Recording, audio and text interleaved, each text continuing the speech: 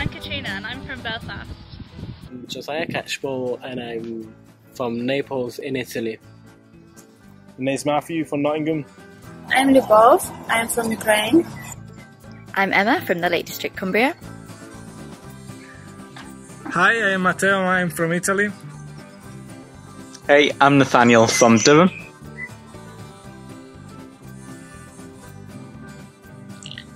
My name is Gareth and I'm from Ayrshire in Scotland. Hello, my name is Helgi. I come from the Faroe Islands. Hi there, it's uh, Johnny here from Glasgow.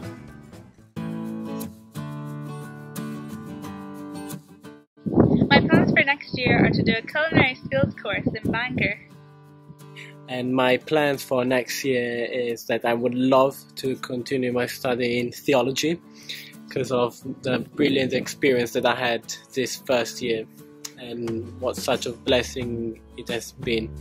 And at the moment, I'm looking forward to see what the future holds for me.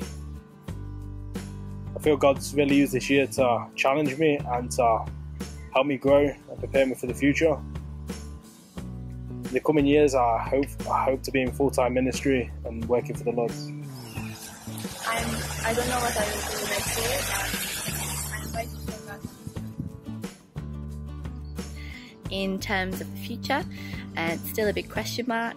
I'm still quite unsure of where God's trying to lead me right now. Um, so, yeah, I'd appreciate prayers in knowing um, in just having open ears and listening to God as He guides me through the next few months and takes me on to the next step.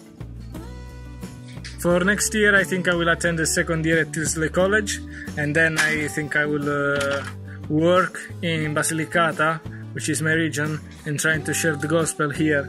Um, yeah, that's me. Uh, next year, I will be studying at Edinburgh Theological Seminary, uh, doing the undergraduate theology course.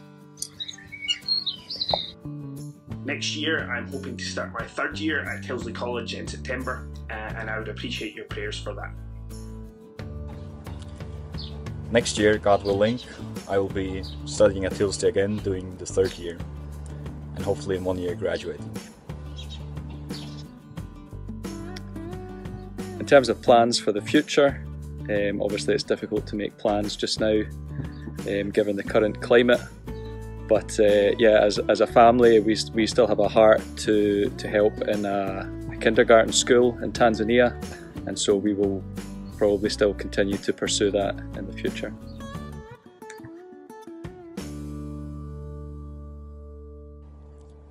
If I were to describe Tilsley in three words, I would say totally worth it.